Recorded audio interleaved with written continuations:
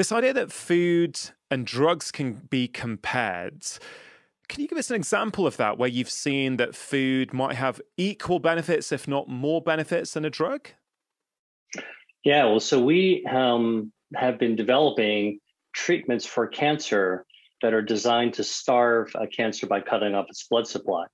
And that's the process of angiogenesis that is hijacked by tumors, by cancer cells to get selfishly develop their own blood supply, right? So I told you the body has normal circulation to feed healthy tissues. Well, cancers can sometimes hijack that. So uh, one of the ways, new ways to treat cancer is actually to uh, give a drug that can intercept a cancer's ability to recruit a private blood supply. That's starving a cancer, cutting off its blood supply, can't get oxygen and nutrients, can't grow. Okay, so I, I, was one of the people to help develop the systems to develop those drugs. There have been over a dozen drugs that have been approved by health authorities to be able to achieve this in colon cancer, brain cancer, lung cancer, so on and so forth. Now, in that same system, we've actually thrown different food substances. And as an example, we took a drug uh, that is a, a, designer drug to stop angiogenesis. And then we actually um, also threw blinded, so we didn't know what which one was which, um, uh, a substance that turned out to be the powdered extract from just regular green tea, a cup of green tea. And we found that they were um, in that system, they went head to head against each other. And you could actually get the same effect in that test system. So now the question is, you know, um, we we've uh, uh, looked at this in the lab. How does this actually play out in real people in the real world? Well, uh, you know, there are studies now that show that even two to three cups of tea a day can lower your risk of developing ovarian cancer, for example, by up to 50%. This is a gigantic study in Europe called the EPIC study that have looked at all the different food patterns and and dietary consumptions over time to look for these correlations. And so, food as medicine research is different from pharmaceutical research.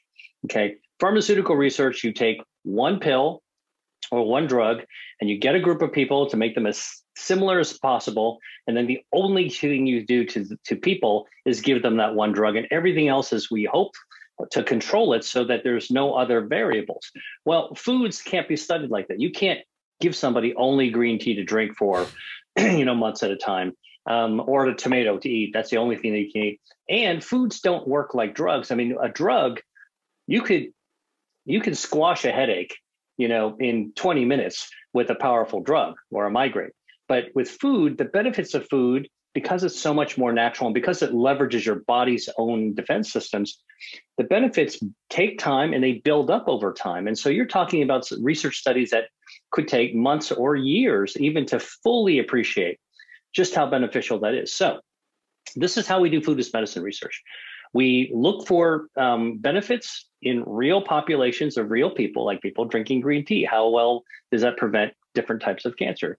Then we back it up to say, can we run a small clinical trial, a small group of people that we can control to see if we get a similar effect? Then we go back into the lab and we kind of say, well, now what happens if you feed animals that actually with green tea uh, like can we you know an animal subject um, can we actually see that benefit then we can even go deeper and go dive that go start going that mile deep what happens at the cellular level what happens at the genetic level and so food as medicine is really taking that macroscopic community wide level view and then drilling it right down to that molecular pathway.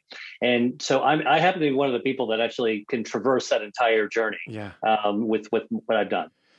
It's just so fascinating, very, very exciting about the future. That study you mentioned about um, a few cups of tea a day reducing your risk of developing cancer. Um, was that black tea or green tea? Green tea. Um, uh, but black tea actually also has um, different benefits uh, as well. So, um, a study out of Italy did something really amazing. Well, so look, let's back up for a second. So, what everybody would recognize is green tea. Kind of like the kind of tea that you get in a sushi restaurant, Japanese restaurant, you know, uh, matcha. And it's very trendy. And, and of course, the trend goes back thousands of years in, in Asia. Um, uh, and then there's black tea, uh, classic English breakfast tea or Earl Grey tea. In fact, I have a little tin of it. I happen to have a tin, tin of Earl Grey tea here, right, right here. uh, I, I love tea, and most people have said this was the thinking previously, that green tea is really great for you because it's green. It's got filled with antioxidants, um, uh, and it's got all these polyphenols in it. And black tea, well, you know, when the British brought it back from Asia, they couldn't actually bring fresh green tea with this long ocean voyage. So they fermented and dried it. And that drying and fermenting actually destroys those polyphenols. So it doesn't have much good. Like might taste good, but it doesn't really have the healthful properties. Well, this is where science, again, you know, is able to heat up that knife and cut through the, the, the butter to kind of see exactly what the story is. And it turns out that black tea actually is quite active. I studied uh, Chinese green tea, Japanese green tea, and, and studied um, Earl Grey. And we can, and so you can, besides comparing foods with drugs, you can compare foods with foods to find out which is the best kind. I was interested in this Japanese sencha or Chinese green tea, uh, jasmine tea, or is um, Earl Grey. Which one is better when you throw them into the system? And we found actually surprisingly that Earl Grey, the black tea flavored with bergamot, actually was the most potent tea when you combined all when you looked at all three side by side. Other thing about black tea that's really amazing that's been studied by researchers in Italy is that black tea actually can call out those stem cells from your bone marrow uh, to increase their levels in your circulation. And when your stem cells are circulating in your blood, uh, they come out of their hiding spots in your their storage uh, container, their, the the garage that the paint, paint cans were stored in. They come out like bees flying out of a hive, and then they cir- circulate in your body looking for organs to repair. So wherever you need a little bit of renewal, regeneration, your stem cells will fix it invisibly. Yeah. And so black tea can actually spark that repair and regenerative process. As you are describing these different foods and their actions, I keep thinking back to this list of five defense systems that I'm just fascinated by. And obviously, we, we spoke about DNA, number four, but you've now mentioned tea, I think, and, and, and green tea and black tea. It can impact stem cells, but it can also impact other parts of these defense systems. So, presumably, are there some foods which only work on one defense system from, from the knowledge that we have so far, and other foods which can kind of hit more and potentially all five at the same time? Yeah, well, so here's a principle of nature Mother Nature tends to be incredibly clever and pack multiple roles in any given food. So uh, while researchers may have only looked at one food in yeah. one particular way. So, for example, CQ, uh, I'm trying to think about um, something that would be uh, useful um, from a whole food perspective that has only been found to do one thing. Actually, I have to say, most of the foods that I know of that I've done research on when you take a careful look, they can activate multiple health defenses. So I think that that's really where yeah. we're at is really peeling back and discovering the utility, the multi-pronged utility of different foods. That makes sense though, doesn't it? Because these defense systems, they don't work in isolation. There's sort of they help you know work to, they, they obviously have to work as interconnected systems together so it kind of makes sense that food particularly food that's been around for thousands, tens of thousands, hundreds of thousands of years are also going to have these multiple type effects. Yeah. You know, if if we go to uh, angiogenesis, which you've already mentioned, and that was the first health defense system that you talked us through. This I found really, really interesting when researching your work. Uh, your TED talk, which of course has been viewed by millions of people now, there was a really interesting slide towards the end where I, I, I, very much resonate with this idea. What's the root cause of multiple diseases? Can we, you know, a- address the root cause, and then you know we're we're automatically going to take care of multiple different downstream consequences? And that was a very powerful slide showing that when angiogenesis is working well, or when it's not working well, what can happen in the body. Could you just talk us through um, through that lens, angiogenesis? Um, because I think that's really interesting. And then you also mentioned cancer and blood supply. And again, could you just talk to us about cancer and how it can only grow to a certain uh, size unless it gets its own blood supply as well, please? Yeah, sure. Our circulation is uh, uh, these blood vessels, this network, and the blood is really the vehicle that carries oxygen and nutrients and everything else that our cells need to survive. So when we have the right amount, all of our health, all of our organs are functioning properly. Um, sometimes we need a few extra blood vessels. So if you're working out and trying to build your muscles, when your muscles get bigger, it requires more blood vessels, bigger blood supply, no problem.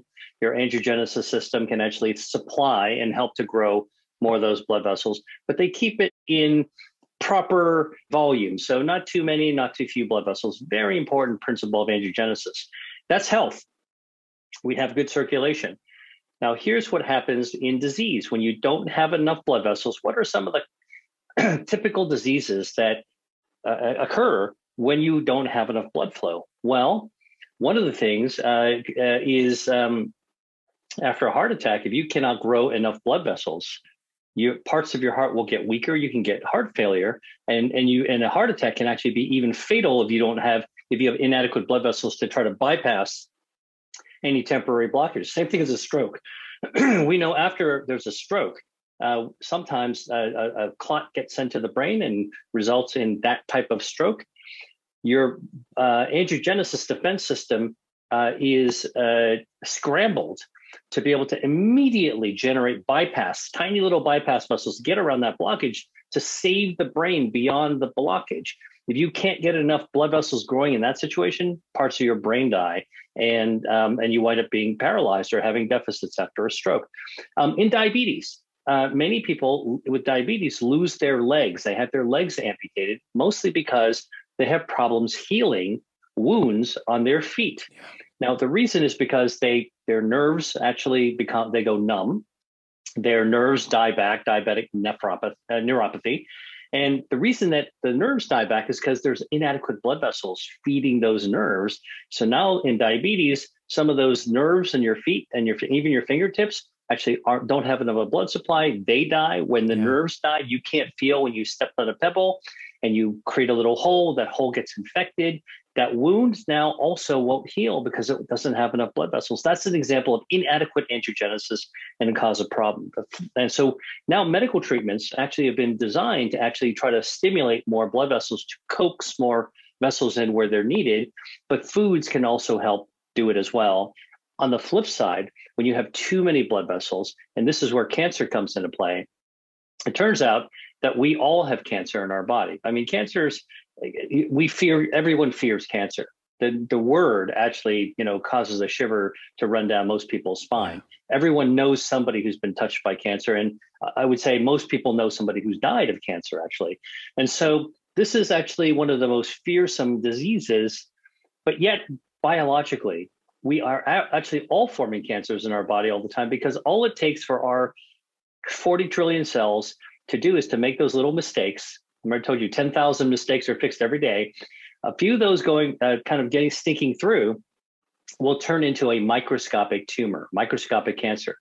And this is called cancer without disease because a tiny little mutant cancer can grow up to the size of the tip of a ballpoint pen and then it's frozen like a pimple. Can't go any bigger because it doesn't have a blood supply no oxygen, no food, nothing to feed it.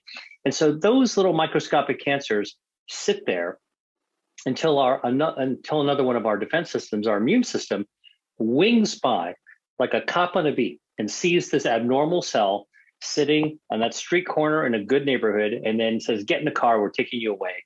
And so our immune system destroys these microscopic cancers. But some cancers are able to, some microscopic cancers are able to hijack our body's regular angiogenesis defense system and selfishly grow blood vessels to feed themselves. Now, I worked in a lab studying angiogenesis, and we discovered that once an avascular or bloodless cancer is able to get vessels to touch it, the, the moment that that touches it, the cancer can grow 16,000 times in two weeks. So, literally, angiogenesis out of control is a trigger, uh, an explosive trigger for tumor growth. And in fact, we know that if you can cut off the blood supply or prevent tumors from growing their blood supply, you can actually keep these cancers harmless for long periods of time. And so this is what foods are able to do.